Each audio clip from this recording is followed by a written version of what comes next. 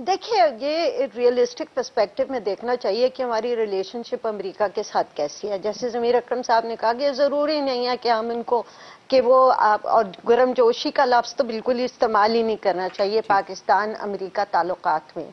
ये तो basis of उनको कब ज़रूरत है हमें कब ज़रूरत है ये सब कुछ माजी में हमें हमने भी फ़ायदा उठाया अमरीकी रिलेशनशिप से उन्होंने भी बहुत फ़ायदे उठाए पाकिस्तान के साथ ताल्लुक से। हाँ चीन का जो हमारे क्लोज ताल्लुकात हैं उनसे उनको तकलीफ़ होती है क्योंकि उनकी इस वक्त एक पोजिशन है vis-a-vis China China Chino American relation का इम्पैक्ट पूरे रीजन पे हो रहा है हम्म। और वो साफ़ ज़ाहिर है ले और साथ में जो ये उन्होंने बहुत ज़्यादा इम्पोर्टेंस हिंदुस्तान को दी है ये भी उनके कहीं गले में जाके अटकेगा क्योंकि जो मोदी की पॉलिसीज़ हैं towards the minorities in the country वैसे भी ग्लोबली जो उनकी हेजमिनिस्टिक पॉलिसीज़ है रीजन में ये किसी तरह उनको मुश्किल में डालेगा अमरीका को भी। हमारे लिए एक बात बहुत क्लियर है कि अमेरिका हमारा, के साथ हमारी एक प्रैग्मेटिक रिलेशनशिप होनी चाहिए।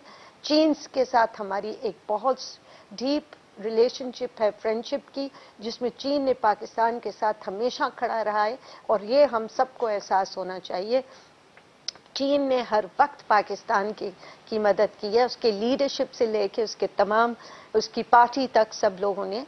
तो ये चीज़ हमें कभी नहीं भूलनी चाहिए और हमें अमेरिका के साथ एक प्रैग्मेटिक रिलेशनशिप रखनी चाहिए।